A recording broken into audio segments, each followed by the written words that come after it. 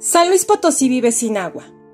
Este estado enfrenta una crisis hídrica a causa de la sequía y el cierre de la presa El Realito, pues el 26 de junio de 2023 fue considerado el día cero para el abastecimiento de agua para consumo humano en San Luis Potosí.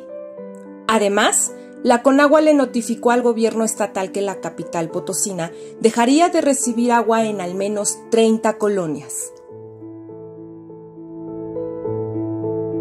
Soy Cintia López. Yo influyo.